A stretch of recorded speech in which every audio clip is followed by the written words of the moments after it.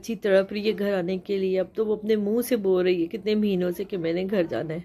अब सब कुछ, सब सब कुछ सबूत है, उसके लेटर है, उसकी चाइल्ड प्रोटेक्शन की चीज़ें हर चीज़ है, उसके बावजूद बच्ची ना दी जाए, बच्ची घर ना आ सके तो।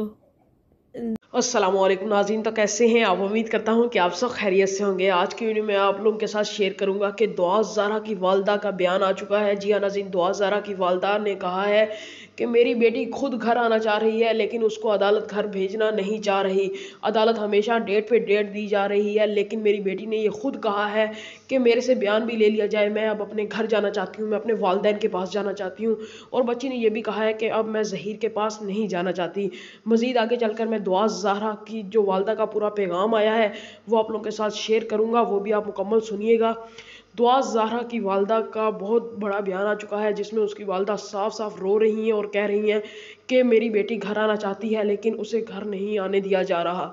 और उसकी वालदा की अचानक तबीयत भी ख़राब हो गई है और उनकी वालदा इस वक्त हॉस्पिटल में शिफ्ट कर दिया गया है। जी हाँ नाजीन आप सबसे दुआओं की अपील है कि उनकी वालदा के लिए दुआ करें।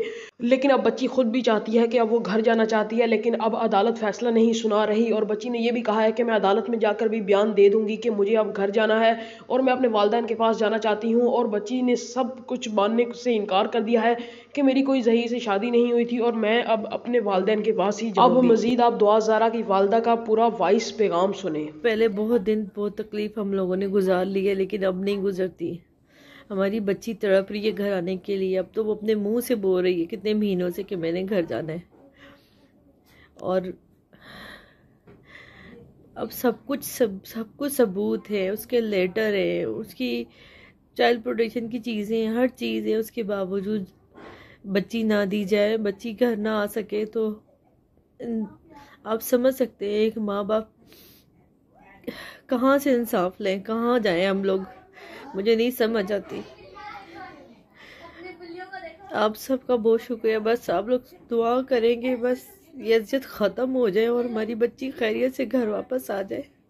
उसकी मुश्किल दूर हो जाए, वो अकेली है वहाँ पर। बहुत तकलीफ़, बहुत अजियत में हम बहुत तकलीफ़, बहुत अजियत में अब नहीं गुजारा होता, वक्त नहीं गुजरता, रात नहीं गुजरती। मैं आपको बता नहीं सकती हम लोग कितनी अजियत तकलीफ़ है। आप सबसे दुआ की पीले आप सब दुआएँ करें, अल्लाह का कि अल्लाह का करम हो जाए और बच्ची घर आ जाए। बच्ची की मुश्किल दूर हो जाए। उसने इतनी तकलीफ़, इतनी अजियत देखी, इतने महीनों देखी, मैंने उसे कभी एक आँच नहीं आने दी। कभी कोई तकलीफ़ नहीं आने दी उसे। आप सोचें, इतनी मासूम सी बच्ची जैसे मैंने इतने लाडों से पाला हो और वो पास होकर भी पास ना हो, हमारा कैसा दिन गुजरता होगा? कैसे रात गुजरती होगी? कैसे सोते होंगे? सोचे। एक माँ बाप सोचे कितनी तकलीफ़, कितनी अजियत होती है। हम लोग बहुत तकलीफ़, बहुत अजियत से गुजर रहे अब सबर नहीं होता। खुदा के से मेरी बच्ची दे दें। नहीं तो हम हकीकत में मर जाएँगे।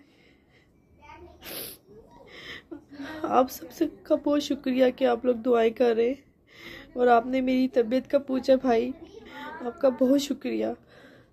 दुआओं में आप सब याद रखिएगा।